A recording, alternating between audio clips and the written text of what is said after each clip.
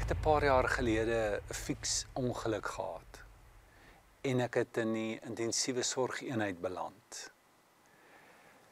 En die rede daarvoor was dat my hartklop baie laag gegaan het. En terwyl ek daar gelê het, het my hartklop een keer afgegaan tot 23 toe. En al wat ek kan onthou was dat die monitor van my al weggedraai is, dat ek nie meer kon kyk na die monitor nie. Verpleegster die gordyne om my toegetrek. Die kardioloog het gekom en hulle die masjien gebring om my te skok indien my hart gaan staan. En die spuitnaald is vol adrenalien getrek om my in te spuit in my hart as dit nodig is. Op daardie oomblik het ek skielik besef maar ek kan dalk doodgaan. Dit was asof ek tot op daardie stadium nog 'n ontkenning was dat dit nie so erg is nie en hulle sal gou-gou uitvind wat ehm um, fout is met my en dan sal ek ontslaan word en net normaal aangaan met my lewe. Maar toe ek sien hoe angstig die kardioloog is en dat die verpleegsters of niemand hulle eintlik meer steur aan my nie, maar net besig is met my liggaam, het ek besef hier's groot moeilikheid. Ehm um, ek het herstel, daarom is ek hier. Uh, maar ek het na daardie episode gevoel ek wil dadelik met my lewensmaat Wilma 'n gesprek voer en ook met my seun Ramon.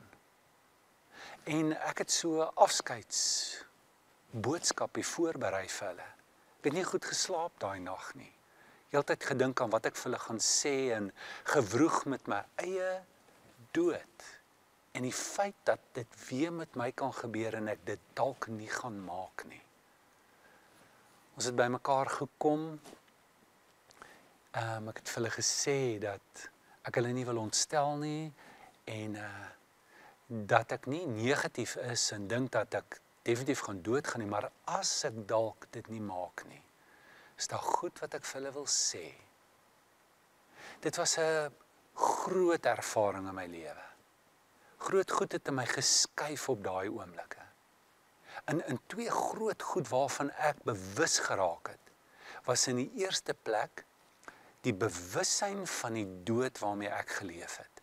Ek het besef ek ontken die realiteit van die dood in my lewe.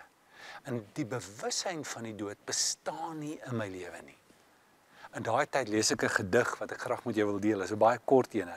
I'm riding on the limited express one of the crack trains of the nation. Hurtling across the prairie into blue haze and dark air go 15 all steel coaches holding a thousand people. All the coaches shall be scrap and rust and all the men and women laughing in the diners and sleepers shall pass to ashes. I ask a man in the smoker where he's going and he answers Josie is 'n gedig van Karl Sandburg. En en dit is aangrypend want die gedig se naam is Limited. En en waar waarvan hy eintlik praat is die beperkte bewussyn waarmee ons leef. Al hierdie mense op die trein is net bewus van die trein, maar die trein gaan tot niet gaan. Hulle gaan tot niet gaan en in hulle bestemming is is nie eintlik Johannesburg waar hulle dink hulle is op pad nie. Uh daar's 'n groter ewige bestemming waarmee ons almal op pad is. Hierdie bewussyn is iets wat nie natuurlik by ons kom nie. Ons leef in 'n kultuur wat die dood ontken. Ehm um, dis baie onnatuurlik om met 'n bewussyn te leef. En selfs die bewustlikheidsbeweging uh moedig dikwels 'n soort bewussyn aan wat net met die hier en die nou te doen het die die groot ding is om weg te kom van die verlede. Jy kan totaal losmaak en van die toekoms ook. Moenie bewus wees van die toekoms nie. Maar die probleem met daai idee van 'n bewussyn en die aard van daai bewussyn is dat dit baie gefokus is aan wat jy nou kan vat en voel en wat hier is in jou onbliklike omgewing wat natuurlik baie beter is as om afwesig te wees en nie bewus te wees van wat regtig nou hier is nie.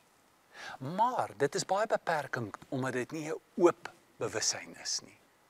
Jy weet, ek kan by die huis wees en dan kan iemand saam met my wees. Ek kyk dalk nie na die persoon nie. Ek sien dalk nie die persoon nie, maar ek het 'n bewussyn dat daardie persoon daar is. En die huis is heeltemal anderster met die teenwoordigheid van daardie persoon.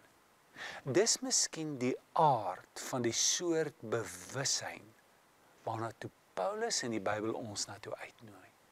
Want Paulus was bewus van sy dood gewees. Alhoewel ek nie die hele tyd daaraan dink nie, kan ek bewus wees daarvan. Is 'n groter, breër bewussyn waarmee jy leef. Ek onthou die tweede groot plek wat die groot bewus effek was van daardie ervaring op my. Uh vir 'n paar dae het dit vir my gevoel asof ek in 'n ekstatiese toestand is. Die die 'n uh, uh, aangepaste bewussinstoestand. Tyd het soms stil gestaan. 'n Uur het verbygegaan en voel dit soos 'n minuut. 'n Minuut het gevoel soos 'n ewigheid baie keer. 'n verskerpte sintuiglike waarneming. Dit was asof die hele lewe nuwe kleur gekry het. Was asof dit wit en swart was. Dis nou so intens. Ek onthou die diep dankbaarheid wat aan my gekom het oor die lewe wat ek nou nog het in die oomblikke wat ek het. Alles het nuwe betekenis gekry. Die lewe het 'n nuwe sin gekry. Dit was ook asof al die onbelangrike goed in die lewe op die agtergrond geskuif het al wat nou belangrik was was hierdie oomblik was die mense en die verhoudings waarin ek geleef het. Dis ongelukkig nie 'n bewussinstoestand wat jy permanent besit nie. Jy sien dit met mense wat ook byvoorbeeld 'n hartaanval gehad het, wat naby die dood gekom het, hoe hulle hele lewe verander na so 'n ervaring, hulle anders voel oor hulle verhoudings en alles. Maar dit kwyn met tyd. En dit lyk vir my asof dit dalk deel is van ons geestelike reis om 'n nuwe bewussinstoestand te kweek. En jy kweek dit deur 'n manier van lewe. Jy kweek dit deur geestelike oefeninge. Soos byvoorbeeld deur te dink aan jou dood. Sodat jy iets van hierdie perspektief kan kweek en vestig in jou lewe. Dat dit wat ek nou het, is 'n gawe wat ek het. Dis tydelik, dit gaan verbygaan. Geniet dit, waardeer dit. Heg groot waarde daaraan. Aan elke ontmoeting, aan elke verhouding wat jy het. Paulus nooi ons uit om vriendelik om te gaan met ons dood. Bewus te wees van ons dood. Hy sê, ek het 'n verlang om heen te gaan en met Christus te wees. Hy sê, ek weet die tyd van my heengaan is naby. Hy lewe met daardie bewussyn. Hy's in kontak daarmee. Kom ons doen 'n gebed saam. Vader, ons dankie vir die lewe wat U vir ons gegee het. En dankie dat ons kan weet dat alhoewel die dood daar is, dit deel is van die lewe en dit ons invat in 'n ander, nuwe soort lewe in. Help ons om vrede te maak, help ons om te groei in 'n bewussyn wat die lewe ryker, voller en dieper maak vir ons in Jesus se naam.